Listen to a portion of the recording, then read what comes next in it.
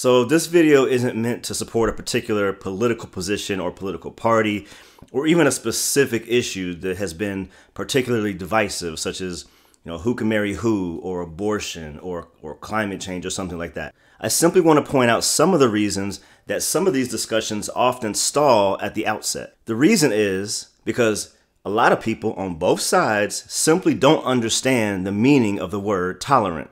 In other words, this is not a theological issue, it's a vocabulary issue. What does the word tolerance actually mean?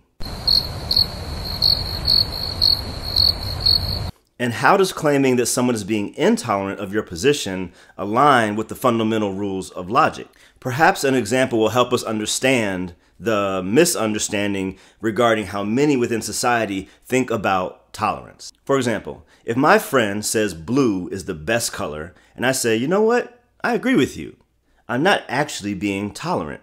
Now, if he says blue is the best color, and I say, no, it's definitely not the best color, red is the best color, but I'll tolerate your, your position on, on, on which is the best color. Now I'm being tolerant. Here's the key, and here's what I need everybody to remember and learn and get if you don't get anything else from this video. Disagreement is a prerequisite for tolerance. If you oppose my view, which is to say that we hold mutually exclusive perspectives, tolerance does not mean that I should abandon my viewpoint and simply agree with you just to be nice. Likewise, you wanting or even forcing me to agree with you or with your perspective because you believe I should be more tolerant is actually you being intolerant. The word intolerance means not allowing alternative viewpoints to coexist with your viewpoint. Intolerance, not tolerant of things that I don't like or believe. What many people believe tolerance to be is actually intolerance. Tolerance means allowing alternative viewpoints to coexist with your viewpoint in spite of your disagreement with that perspective. I'll allow it. Now, to be honest, this concept should be English 101. So, why is this such a big issue? Because when this misunderstanding regarding tolerance happens, or should I say continues to happen as it is happening, truth ceases to exist if the metric for what is true becomes what the majority or any group views as the proper perspective that everyone should adopt or tolerate, then truth itself is sacrifice. Mob mentality has never proven to be the best measure for determining truth or morality. Man, what were we thinking? Without truth, it will be impossible to sustain a singular standard or have a proper point of reference by which to position our understanding of truth. Not only should truth guide morality, but truth precedes meaning as well. Without knowing what's true, you can't arrive at an objective meaning for life. Truth and meaning are inextricably linked. And whether I or anyone likes it or not, whatever is objectively true does not cease to be true simply because we are uncomfortable with that truth or because we want to change that truth. So, can we know truth? Is this even something we can determine? Let's see. George MacDonald said, To give truth to somebody who doesn't love it will only give them more multiplied reasons for misinterpretation. Some people say they want the truth, but what they really want is to feel validated in what they already want to believe. There's a scripture from the Bible which says, for the time will come when they will not endure sound doctrine, but according to their own desires, because they have itching ears, they will heap up for themselves teachers, and they will turn their ears away from the truth. People will find ways to co sign what they already want to believe or already do believe. In this way, truth becomes secondary to personal desire. Now, whether you read or believe the Bible or whether you're a complete atheist, it doesn't really matter. I think it's pretty clear to everyone that people find those who tell them what they already want to believe. So we should ask ourselves what standards do we use to test the loudest voices in our cultural, political, and theological silos, especially on the internet? The ultimate pursuit is truth, or at least it should be. Let's talk about how we can assess the truth of propositions and worldviews. First, there is the correspondence theory.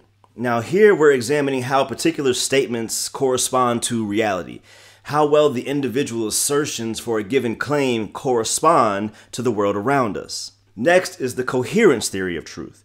So here we're assessing the entirety of the components in the propositions being put forth for their veracity. All of the subparts must provide a singular coherent understanding of the claim one is seeking to establish. The goal is to remove or at least reduce any undue allegiances to information which was acquired a priori. Now, a priori is a Latin phrase used to describe knowledge or information which was obtained prior to, prior, priori, or independent of observation or experience. Now, this may sound like something that we can just write off as useless, but we actually use it quite often, and when done properly, it isn't problematic. A tautology is a kind of repetitious statement that is necessarily true because of the way it's formed. For example, in a mathematical tautology, I could make the statement either A equals B or A does not equal B. A better example might be if I said either the car is blue or the car is not blue. No matter what color the car is, the statement is true. Tautologies can sometimes help drive home the, the impact of the truth being communicated. Now, there's also a posteriori, which is knowledge obtained based upon empirical evidence and or experience. If information is obtained a posteriori, which contradicts our a priori understanding or possibly our bias, we should usually question our original understanding. If someone has a bias against the supernatural, but evidence for the supernatural is introduced, it would be prudent to change one's perspective. Another component involved in the, trying to determine what's true is examining the logical consistency of the propositions being put forth. Are the statements logically consistent with reality, with the perspective being put forth? I've done other videos specifically pertaining to how Christianity is logically consistent in ways that maybe some haven't considered. You can link to those later. But for now, I just want to establish if there are methods for arriving at truth. And I want you to simply think about do the conclusions on any issue makes sense in light of the evidence. We should also consider is our understanding of our position empirically adequate. Now, this one may be tricky at times because emotions tend to get involved, but is there any tangible evidence? Is there any historical, archaeological, scientific, philosophical, sociological evidence for the position that I'm affirming or holding to? And lastly, is my perspective experientially relevant? How do my experiences affirm or deny what is being presented? Once again, we should apply these standards with people we disagree with and with those with whom we agree. The current mindset of society violates one or sometimes all of these standards in what is presented as truth. Often, the current mode of thinking is in line with something called pluralism, where all truths are allowed to exist even when they contradict each other. But truth objective truth, that is, by definition, is singular. A quick story might help. I remember having the opportunity to teach and preach in Burundi, which is a small country in East Africa near Rwanda. And on that same journey, we did go to Rwanda and teach there as well. But in my sermon, uh, that one Sunday morning in Burundi, part of the sermon was actually about truth. And so I turned to my translator and I said, What is one plus one in your country? He said, Two. I was like, Man, that's crazy. Because, like, back in Chicago, it's also two.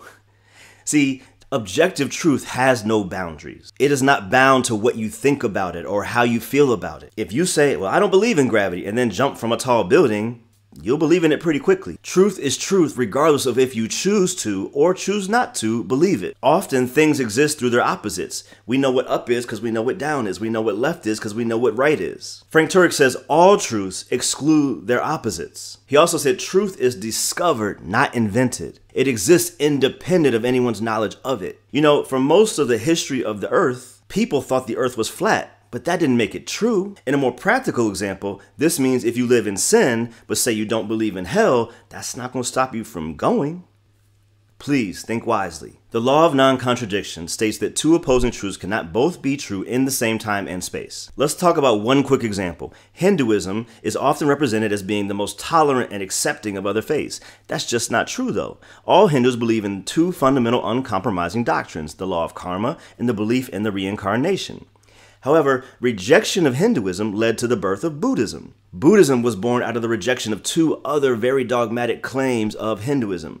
Buddha rejected the authority of the Vedas, which is the Hindu scriptures, and the caste system of Hinduism, which says based on your color you are either a higher or lower class. Buddhism also does not tolerate some of the foundational views of Hinduism. However, most Buddhists are probably tolerant of Hindus themselves. You see how that works? Now, at this point, I'm not saying which one's true or false. I'm simply saying they can't both be true. A Buddhist would have to tolerate the beliefs and perspectives of a Hindu individual. And that would be fine and we could move on. But the ideal situation is for truth to trump tolerance or intolerance. Truth over tolerance. It is possible, and I would argue necessary as we seek to live together on this planet for us to find ways to truly tolerate those we disagree with. And when possible, to explain with love the reasons we have for disagreeing with whatever propositions or perspectives they are espousing. As an apologist, I regularly talk with people of a variety of worldviews. I've spoken with Hindu priests and Muslim imams and, and more atheists than I can count. But you know, I can probably count on one hand the amount of those conversations that have become contentious or argumentative. And I believe there's a couple reasons for this. First, they were all well read.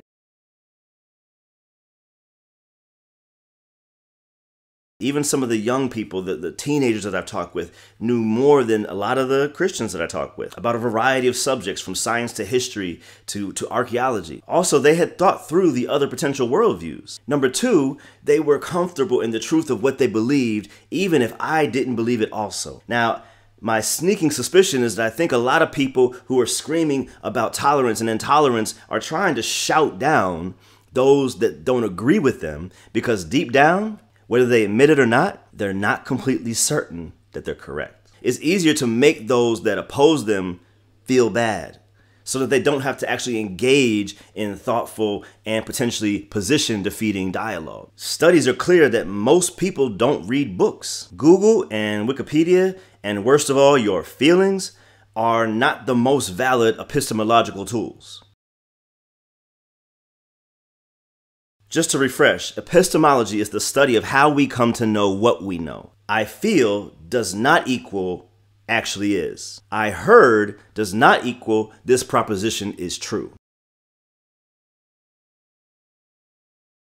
Also, as much as people claim they want tolerance as if that is the holy grail of human relationship and interaction, it's not. And that's not actually what they or anyone wants. The idea would be that those who we are in relationship would love us, not tolerate us. If I say to my wife, Oh, you know what? I just tolerate you so much. and then on Valentine's Day, I, I get her a card expressing my undying tolerance for her. The rest of the the day ain't gonna be so good. Tolerance is actually a last resort in most cases, where we at least want to remain civil, but aren't willing to sacrifice our position. And that actually is a good thing. There are 7 billion people on the planet and counting, and we aren't all going to agree. However, we do have to find a way to live together on this vast planet in harmony. I suppose this is why some people find a lot of Eastern spirituality to be attractive in the West, because it is built on a framework of connection and solidarity and tolerance and moral relativism. Largely because these beliefs teach you to focus inward, which means you don't have to deal with the ramifications of a relationship with a personal God. If we're told to love God and love others the same way God loves us, the burden is far greater than becoming one with the universe or searching inside yourself for some level of inner peace. Regardless of the fascination with those worldviews that some think are more tolerant, the reality we can all agree on is that intolerance, which is the proper name for the brand of tolerance often being demanded today has never benefited humanity. With regards to the Holocaust, Joel Sprechman notes remember, it didn't start with gas chambers, it started with politicians who divided the people, us versus them. It started with intolerance and hate speech. When people stopped caring, became desensitized, and turned a blind eye, it became a slippery slope to genocide. It started with misguided ideas. Our thoughts are so important because they are the soil where ideas are nurtured. At the end of the day, it's better to know an uncomfortable truth than to live a comfortable lie. We need to ask ourselves is lying to someone better than tolerating their untrue belief? Is making someone feel comfortable and as though you tolerate their thought or idea a more worthwhile ethic than lovingly sharing the truth with them, even if they dismiss it or disagree with it? I suppose that's a decision everyone will have to make for themselves. But when making this all important decision, make sure and ask yourself if you're willing to die with the reputation of being tolerated, even if it means others die because you chose the idea of tolerance over the reality of truth. Peace.